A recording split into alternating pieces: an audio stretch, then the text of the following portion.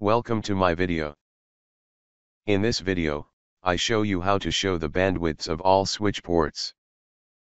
In the previous video, I showed you how to show the status of all switch ports.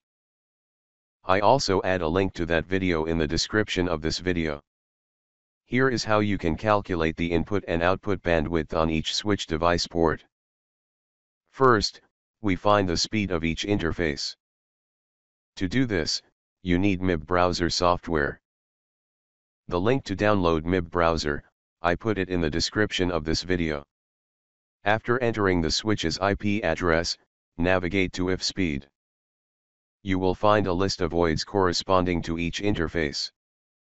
Compare the information with the IFDESCR section to find the exact interface you want.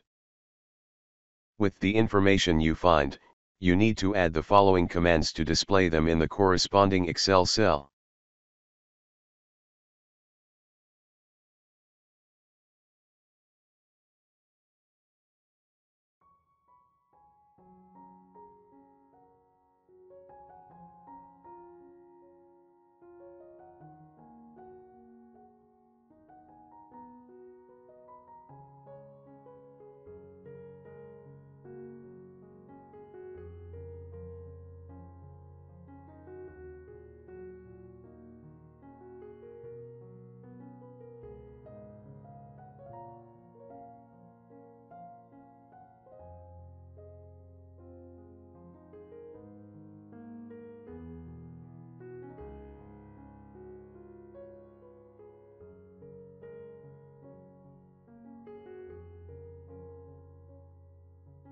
With a gigabit interface you would get a billion. You do the same for all switch interfaces.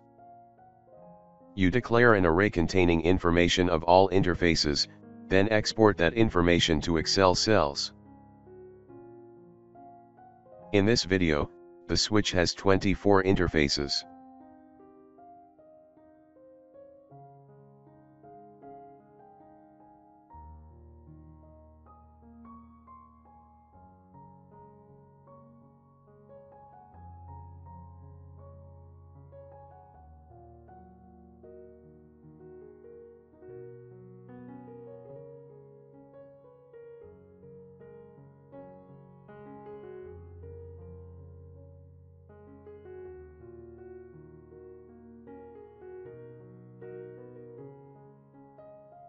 With one GE interface you get 1 billion, and for Fe interface you get 100 million. Next, you perform the input bandwidth calculation of the first interface. Follow the recipe shown at the beginning of this video.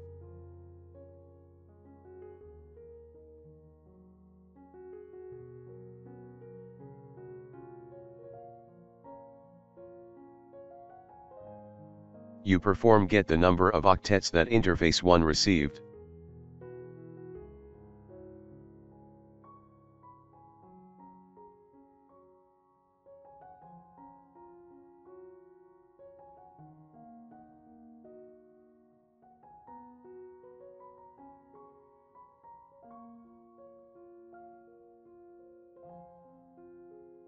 After 2 seconds, you perform get the octet number received by interface 1 one more time.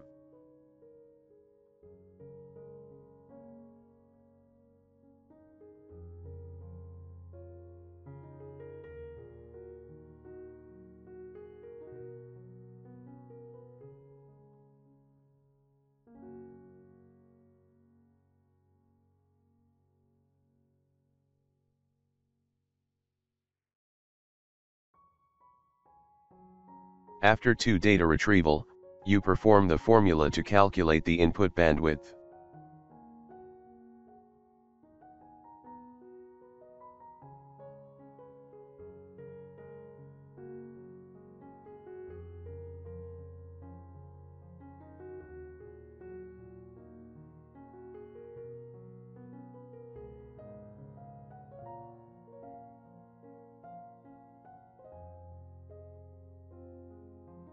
you will get the result as a percentage using the interface.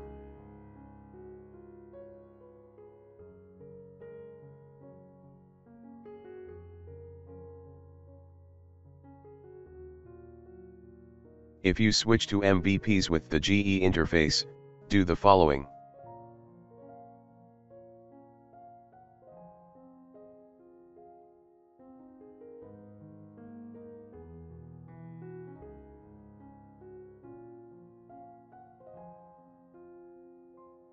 Next you will go through with all the interfaces.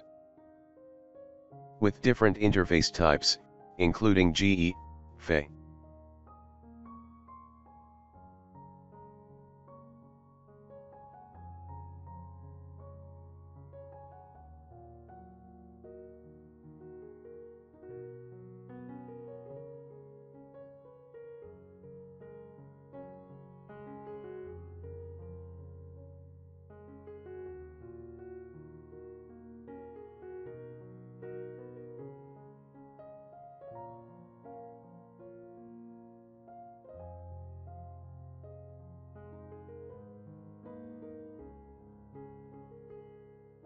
You declare two different arrays, containing data two times separated by 2 seconds. You execute on the interfaces in turn and write the data to the array.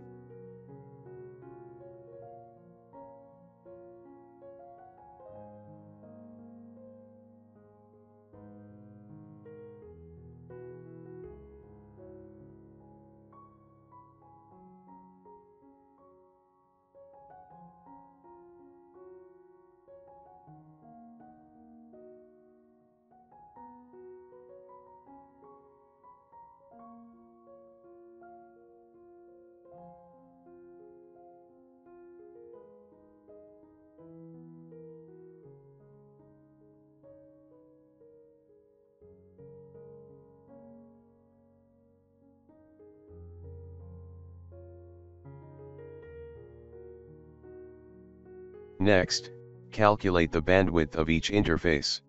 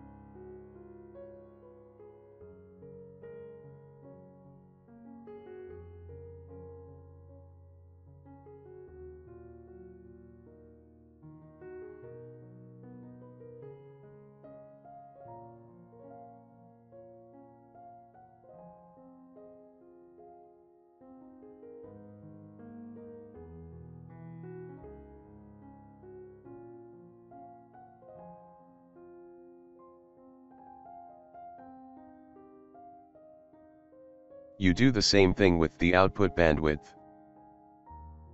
You declare two arrays containing data for two times to get information.